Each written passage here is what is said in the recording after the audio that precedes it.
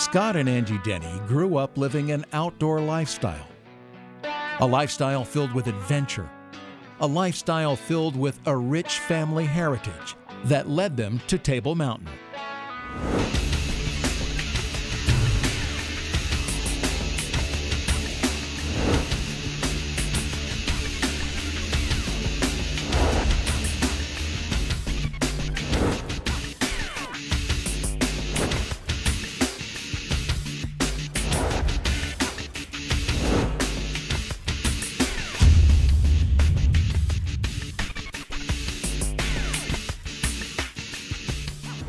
Hi, I'm Angie. And I'm Scott. Welcome to another episode of Life at Table Mountain. On this week's episode, our guests are Joel and Janice Maxfield from Mathews. And they're really good friends of ours, but Janice has never gotten an opportunity at an elk. Until this week. I looked at that camera. Until now. Until now. Uh, okay. Okay. Until now.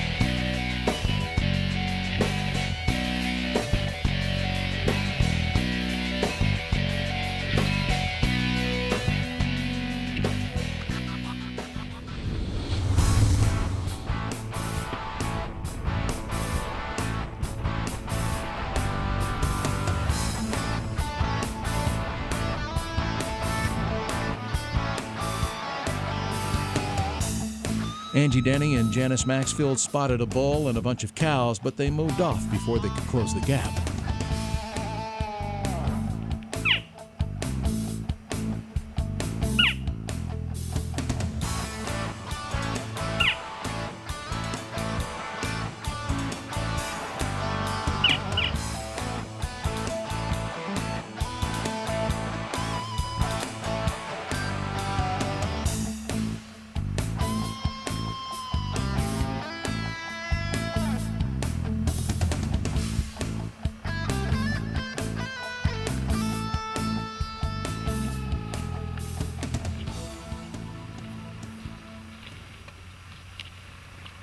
We should probably just leave these two alone for a while, come back and check them this afternoon or evening. It seems like they're better. It seems like they're budging at Yeah, all. They're so talking, but they're not willing to come anywhere. Probably just laying down doing. Uh-huh. They'll be there tonight. Yeah. And they'll usually come out and walk work down this draw back out into the meadow, so That would be better than... we might be able to be set up and waiting Yeah. for them this time. To climb up all the way. That would Yeah, we'll bust them if we get in too close. close. Yeah. So they'll be ready to, to talk a little bit more tonight. yeah. So Can do that. In this situation, we just could not get in front of this bull. We tried several attempts at it and it just it wasn't working. So we backed out to come back in later.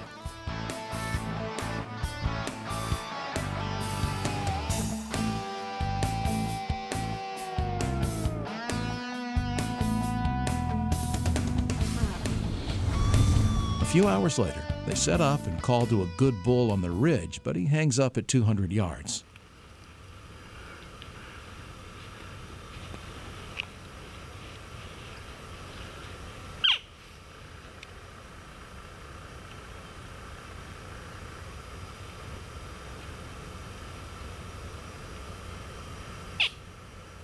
Then, a totally different bull sneaks in from another direction, but Janice never gets a shot. nice bull. Nice bull.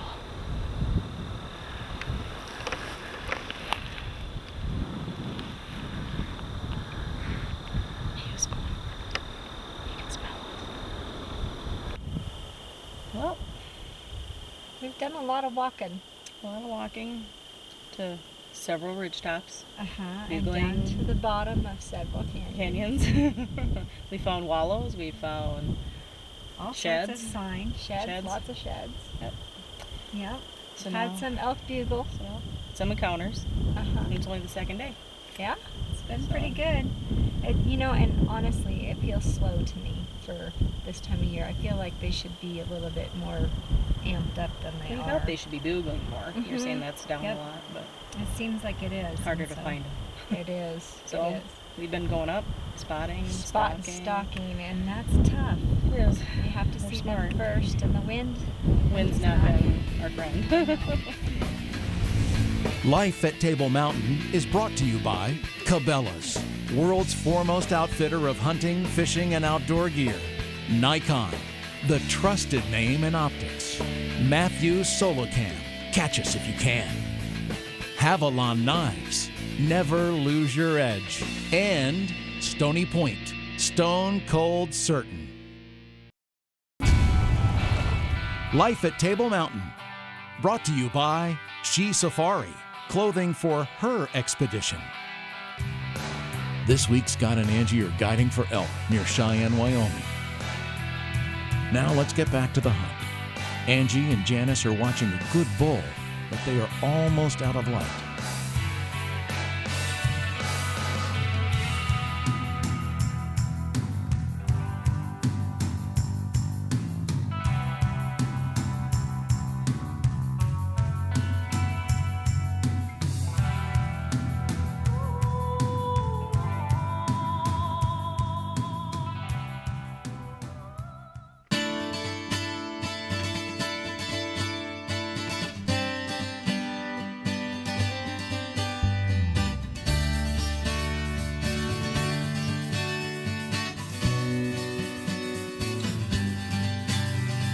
Come right in, boy. Boom, they're in the water drinking.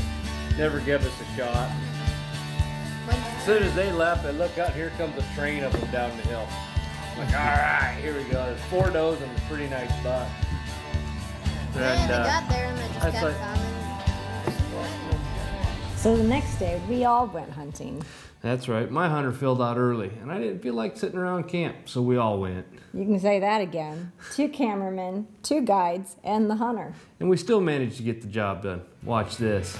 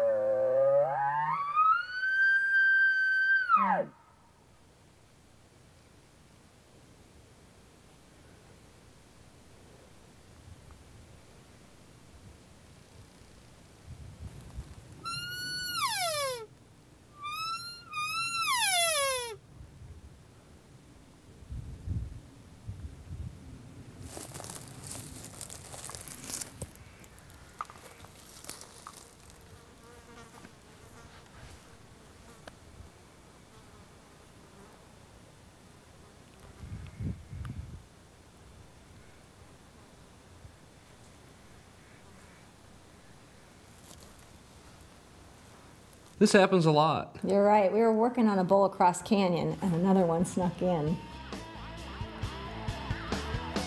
From this angle, it's hard to see the bull, but if the cameraman stands up now, this hunt will be over.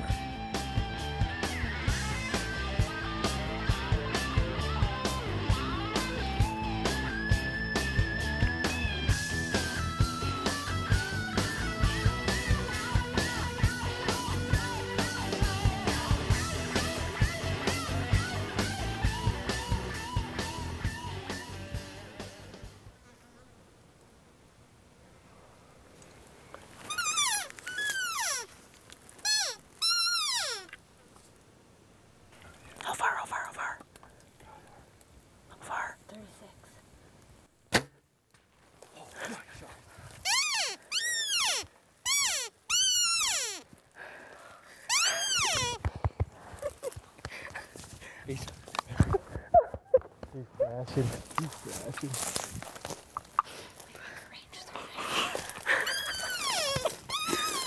I never cry. I was about ready to have. That was kind of a good shot. I snuck it. Wow. When you said how far, I knew you had him.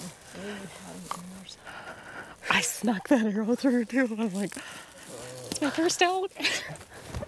He was right here at like 10 yards. 20, 20. It was 17 and a half. I pulled up and I saw, all I see, I just have to look, I see horns coming. I'm like, oh my god. 17 and a half. And he just, I, I could see him head on. Thank you. It's the last thing I thought was gonna happen today. You know, Janice was so excited. You know, you just can't reenact that. That's for sure.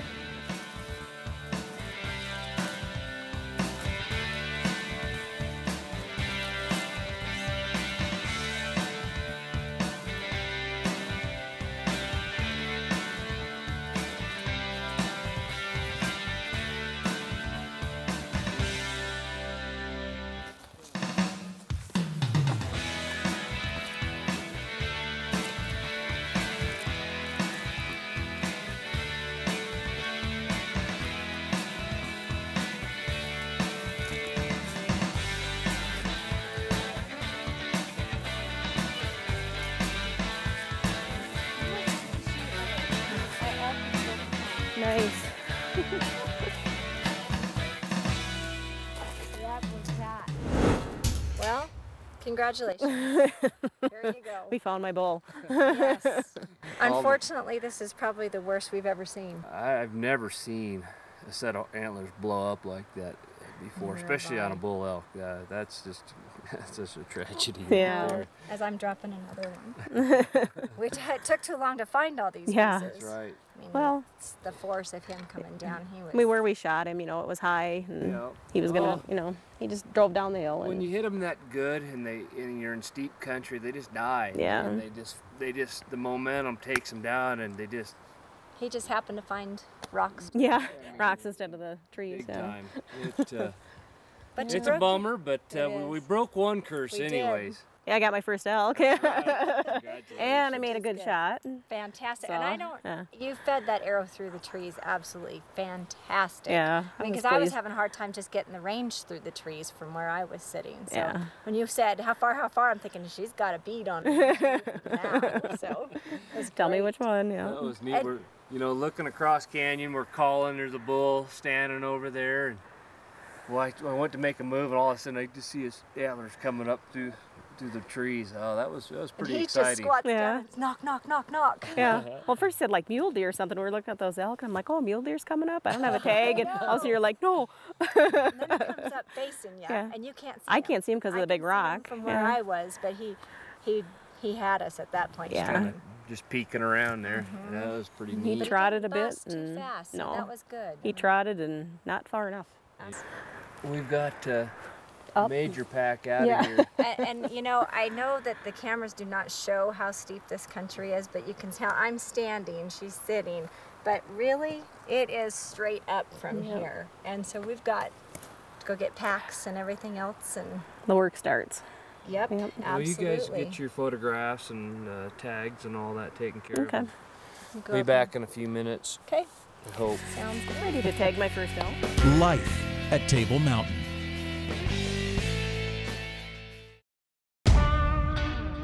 Life at Table Mountain is brought to you by Rhino Ground Blinds, Rhino Tough. Now, let's get back to Wyoming, where Janice Maxfield has already tagged out with a good bull. You know, it's our first archery elk hunt of the season, and Janice Maxfield's now tagged out. Now it's her husband's turn. And there's some serious competition there. Right.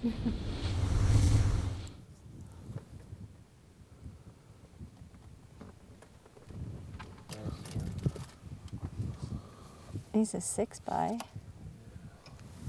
Good tops. Ready? Let's run down there and see what happens. He's pretty preoccupied with them cows right now. Maybe we'll get lucky.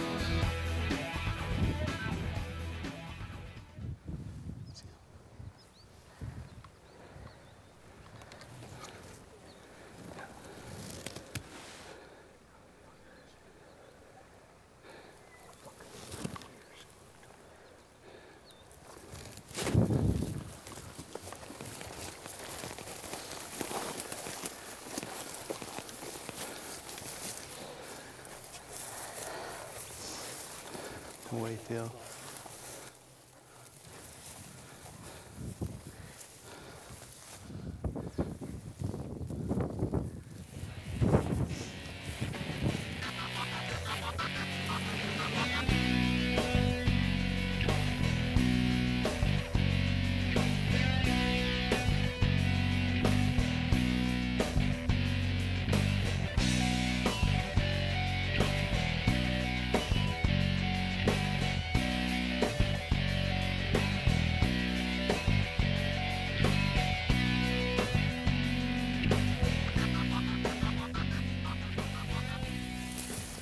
They've caught up with a good bull, and Joel is getting ready for the shot.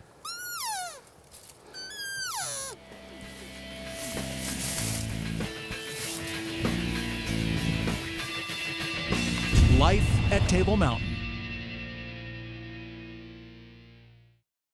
Life at Table Mountain with Scott and Angie Denny.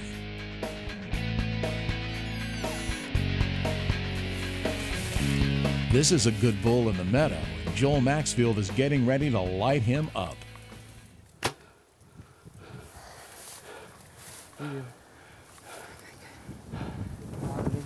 Where- He's down. He's right there. He's down. Yeah, yeah. He's down. His horns right there.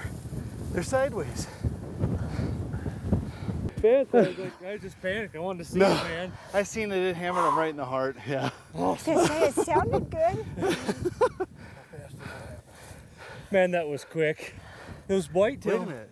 That's Oh, him. let's see. It's him. It's him. That, those whitetails, those busted. We had him perfect. Ran right into the herd.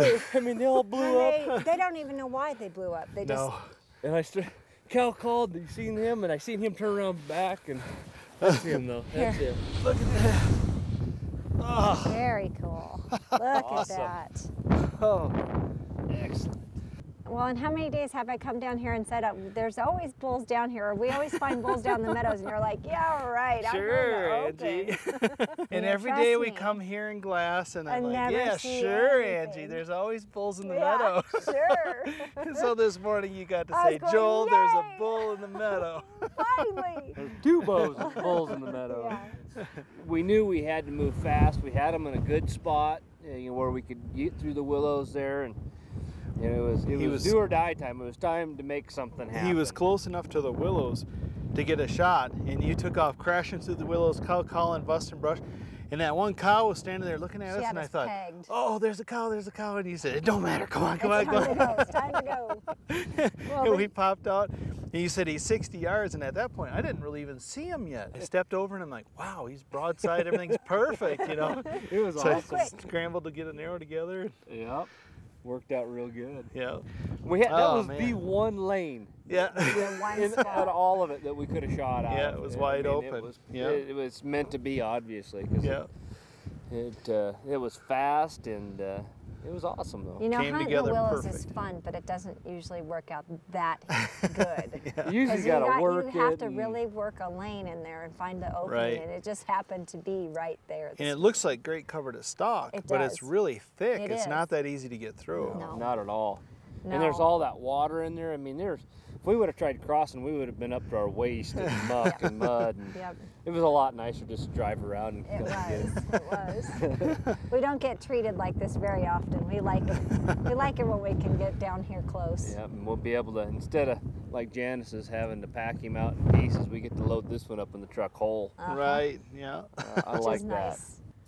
Well, he's got good fronts. He's been rubbing real hard on those willows. He's Yeah. all, Yep. you can see all the, all the sap and, I love the dark horns and Yeah, you know the the nice Polished polished top. tips. yep, white ivory tips. on him. Yeah, I love that. It's just that's pretty. neat to see. You could see them tips.